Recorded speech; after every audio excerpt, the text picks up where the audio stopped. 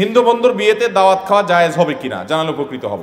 হিন্দু বন্ধু, তিনি যদি দাওয়াত দেয় আপনাকে, তাহলে সেক্ষেত্রে সাধারণ দাওয়াত খাওয়া যাবে, তাকে অন্তর, অন্তঃস্থল থেকে শির করে, সে আল্লাহকে বিশ্বাস করে না, সেই জায়গা থেকে আপনি সেই অবস্থানে তাকে আপনি রাখবেন না, কিন্তু তার সাথে সাধারণ সম্প্রীতি বজায় রাখা এবং আপনার সামাজিক অন্যান্য কর্মকাণ্ডগুলো করা, লেনদেন করা, এগুলো না জায়েজ নয়। ঠিক একইভাবে সে আপনাকে কোনো খাবার দিয়েছে, এটা খাওয়া আপনার জন্য জায়েজ হবে, যদি খাবারটা হালাল হয় আপনাকে কোনো উপহার দিয়েছে সেটা নেওয়া জায়েজ হবে, আপনার জন্য হালাল হয়।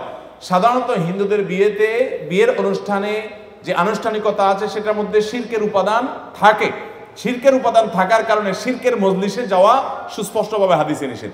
এমনিতে কোনো ভোজন অনুষ্ঠান, এমনি কোনো আনুষ্ঠানিকতা বা পারিবারিক অনুষ্ঠানে যদি আপনি যেতে চান, সেখানে আপনি যেতে পারেন ওই যে আপনার মধ্যে ইমানের যে ওয়ালা এবং বাড়ার যে দাবি আছে সেটার কোনো ঘাটতি হতে পারবে নবী করিম সাল্লাহ সাল্লামকে একজন ইয়াহুদি মহিলা দাওয়াত করেছেন। তিনি সেই দাওয়াত গ্রহণ করেছেন। আবার অনেক মুসলিমকে খাইয়েছেন আল্লাহ রবুল আলমিন সবগুলো কথা অনুযায়ী আমাদের কামল করার তৌফিক দান করুন।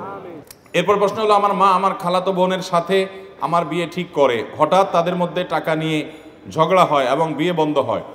আমি আর আমার খালাতো বোন সাক্ষী ছাড়া কাজী অফিসে গিয়ে বিয়ে করে ফেলি এবং যে যার বাসায় আসি এখন আমাদের সম্পর্ক কেউ মানছে না। আমাদের জোর করে অন্য জায়গায় বিয়ে দিতে চায়।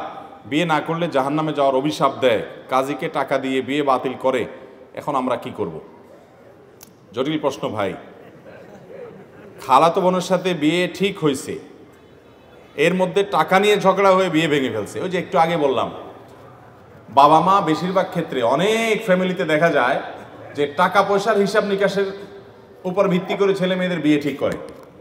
তো এরকম যদি হয়, দিনদারিকে তারা প্রাধান্য না দেয় তাহলে সেক্ষেত্রে আপনি দিনদারিকে প্রাধান্য দিয়ে বিয়ে করতে পারবেন। এখন কতটা আপনি আপনার খালাতো বোনকে বিয়ে করছেন কিসের কারণে? যদি বলেন যে দিনদারিতার কারণে, তার মধ্যে দিনদারিতে আছে। তাহলে সেক্ষেত্রে সেও মা বাবার অবাধ্য হয়ে এরকম কাজে অফিসে গিয়ে এরকম আচ্ছা পালায় পুলায় বিয়ে করতে হবে কেন ভাই বলেন তো? পালায় তো করে চোর চুরি করে। সাধারণত চোর চুরি করে কি করে? তো এখন বিয়েই যখন করতে হবে, তো দুইজন মিলে পালায় যায়। এটা কেমন কথা? যথাসম্ভব অভিভাবকদেরকে সম্মত করে নিজের দাবি আদায় করার চেষ্টা করবেন।